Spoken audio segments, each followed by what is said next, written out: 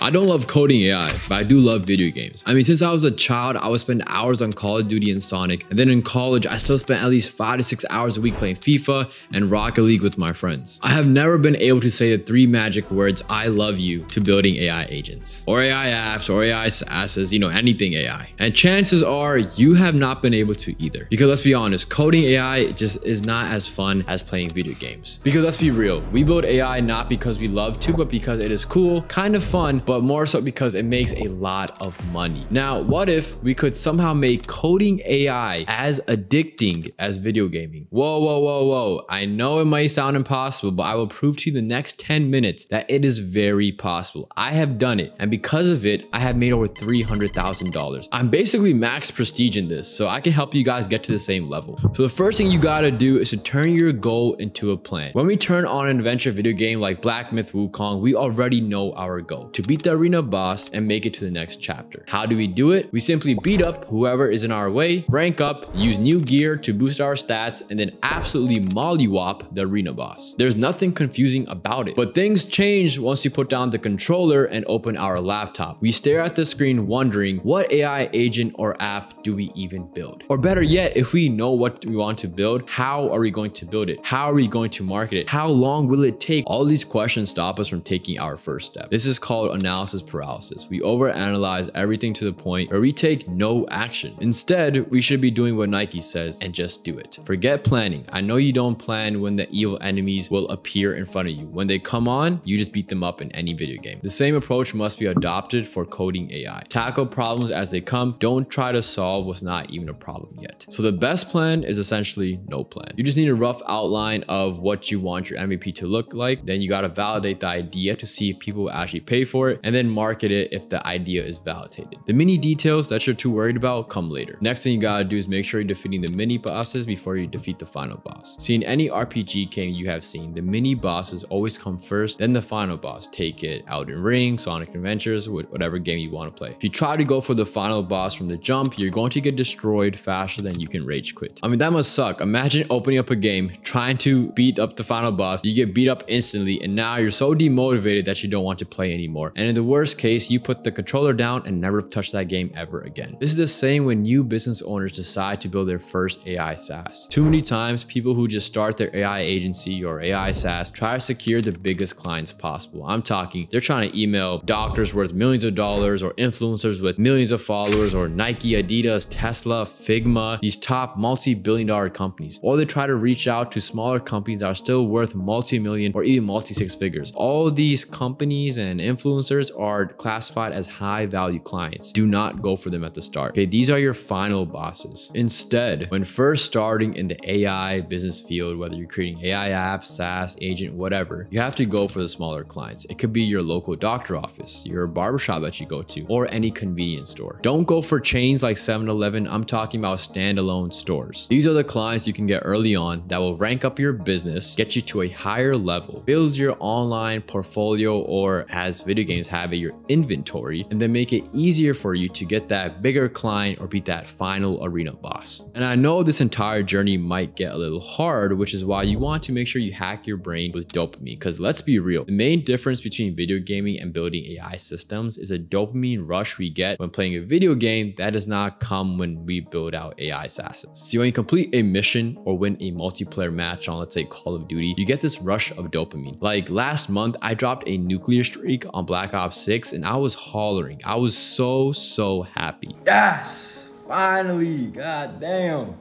Shit took 10,000 years. That dopamine was just filling up my brain to the max. I felt like I was on cloud nine. Now, do I get that same feeling when building out AI systems? Yes and no. See, I do get a bit of dopamine once my AI system starts working and there are no errors. I'm like, yes, let's go, it works. But do you know when the real dopamine hits? When that $5,000 direct deposit hits my bank account, baby. And nuclear medal in Black Ops 6 is great, but when that $5,000 direct deposit hits, whew, there is nothing like it. And that's where I get a huge rush of dopamine that makes me wake up every single morning excited to build or update my AI systems. Because I remember that $5,000 check and I'm like, I can't wait till I get that next one. And that's where your brain is officially hacked with AI dopamine. Now, before you get ahead of yourself, I want you to be really real okay? You're not going to get a nuclear medal in Call of Duty every time you turn on the game, right? Yet you still play countless games to eventually get it. It's the same when you're building your AI business. You won't get that $5,000 client on day one, but you will for sure get that $5,000 client if you show up every day. And the moment that you get that very first $5,000 check, you will officially be addicted just like me. But remember, you gotta show up every day. Now here's a real example of everything I said put into practice. I have this mentee named Ron, who I taught how to build and sell AI systems. After two months, he built this agent that was able to reprice tickets in a matter of minutes. You might not be familiar with ticket repricing, so let me break it down. Pretend a ticket reselling company purchases 200 Taylor Swift concerts at $250 a ticket. Due to the demand, the market price is raised to $300 per ticket. So the company now has to manually update the price of each of their 200 tickets to $300 instead of $250. This can take an hour or so to do. Now, sometimes this company can get thousands of tickets. So in those instances, it would take multiple hours to do. So this company was spending money on workers to update these tickets for them. But now Ron, he built an AI agent that could replace all the tickets and update their prices in mere minutes, whether it be 200 or 1000 tickets. His agent was able to replace all the workers that the company had employed for ticket repricing. So they were able to save $36,000 a year. So they were more than happy to pay Ron $5,000 for his agent. And I can assure you after that check hit, Ron definitely spends more time building out AI agents than he does playing video games. Ron is just one example of a person that you could potentially reach out to to learn more about, right? Wait, wait, wait, wait. I hear you. You're saying, well, Ron didn't have to do it alone. He took mentorship from you. You're telling me to do this all by myself. No, I'm not at all. I mean, do you play video games by yourself? I mean, you might, and that might be a little bit lonely, but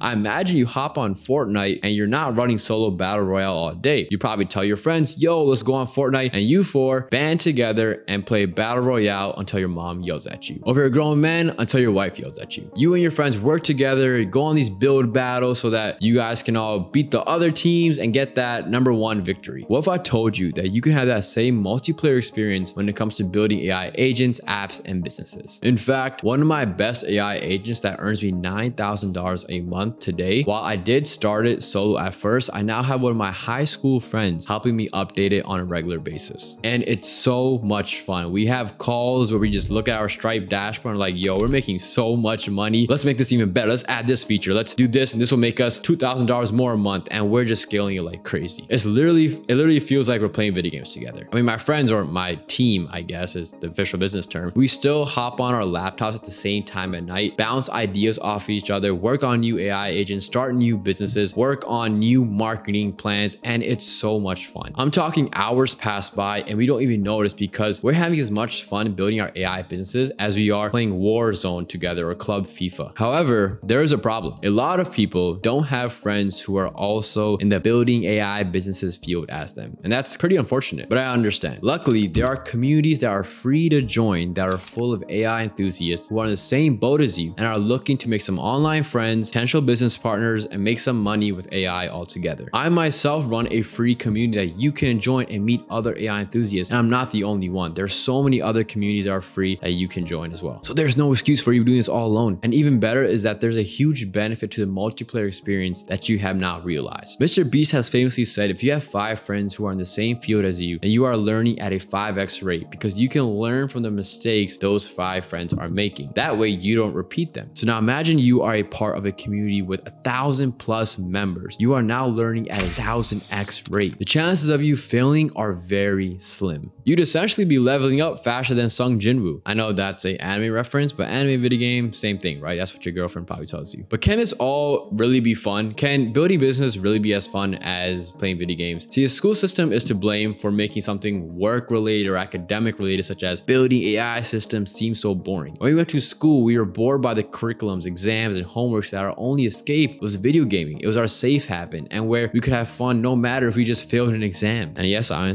talking based on prior experience. But building AI and learning how to build AI doesn't have to be your new school. It can easily be your new video gaming. Here's an example of an $8,000 AI system my student Vladan and I built together. To see an example of an $8,000 AI system that my student and I built together, check this video next.